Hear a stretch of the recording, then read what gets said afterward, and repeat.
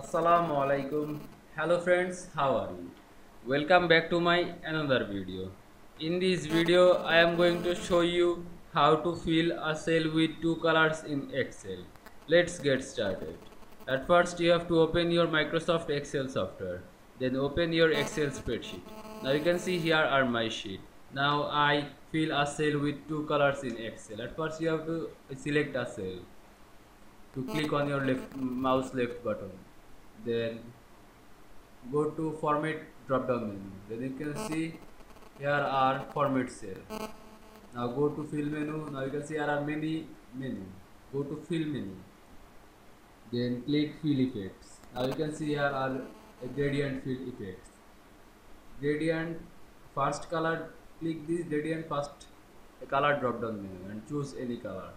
Uh, again go click this color to drop down menu and choose another color. Then press ok. Okay. now you can see i fill a cell with two colors in excel very easily. I hope you enjoyed my video.